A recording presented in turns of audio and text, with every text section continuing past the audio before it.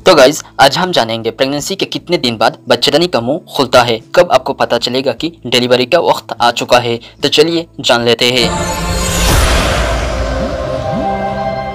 Pregnancy में बच्चेदानी का मुँह 38 हफ़्ते से लेके 40 हफ़्ते के बीच में खुलता है। डिलीवरी होने की चार पाँच दिन पहले बच्चेदानी का मुँह धीरे धीरे खुलने लगता है। लेकिन कुछ महिलाओं में बच्चेदानी का मुँह नहीं खुलता, जिसके चलते सीजरियन डिलीवरी करवाना पड़ता है।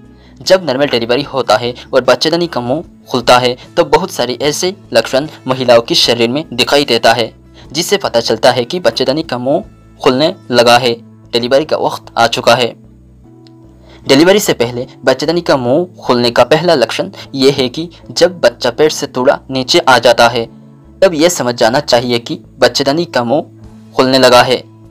पेट का ऊपरी हिस्सा हल्का हो जाता है यानी कि पतला हो जाता है। और चलते हैं तो ऐसा लगता है कि जैसे बच्चा गिरने वाला है। यदि पेट के नीचे के हिस्से में हर वक्त दर्द और दबाव महसूस होने लगे तो, तो समझ जाना कि बच्चेदानी का मुँह खुलने लगा है। प्रेगनेंसी के दौरान महिलाओं को बहुत पेशाब आने की शिकायत रहती है लेकिन प्रेगनेंसी की आखिरी वक्त यानी कि 38 हफ़्ते से लेकर 40 हफ़्ते के बीच में और भी ज़्यादा पेशाब आने की शिकायत होती है। इससे भी पता चलता है कि बच्चेदानी का मुँह खुलने लगा है। डिलीवरी का वक्त आ चुका है। बच्चेदानी का मुँह जब दो सेंटीमीटर खोलने लगता है तो लेबर पेन शुरू हो जाता है। ये जो लेबर पेन होता है, ये काफ़ी तेज़ होता है।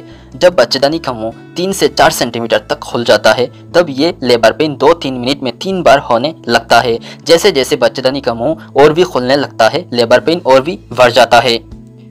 डिलीवरी के कुछ समय पहले बच्चे की पानी का थैली फट जाता है, जिसके कारण महिलाओं की प्राइवेट पार्ट से पानी जैसा पेशाब जैसा पतला पानी निकलने लगता है।